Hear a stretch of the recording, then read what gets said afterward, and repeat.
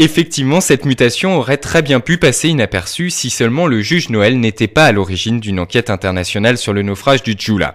Alors le Jula, souvenez-vous, c'était pire que le Titanic. Il avait sombré en septembre 2002 sur les côtes du Sénégal. Près de 2000 personnes y avaient laissé leur vie, dont des Français.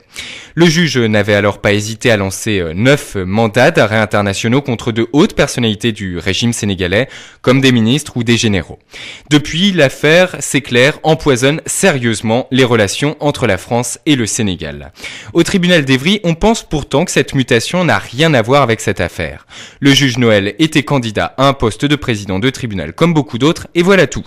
Mais cette explication ne satisfait pas la presse sénégalaise qui est à l'origine de cette information. Pour le quotidien de Dakar, par exemple, il s'agit avant tout, je cite, d'une décision politique afin d'écarter un magistrat considéré comme dangereux pour le Sénégal. Cette mutation ne serait finalement qu'un exil forcé permettant d'apaiser les relations entre nos deux pays.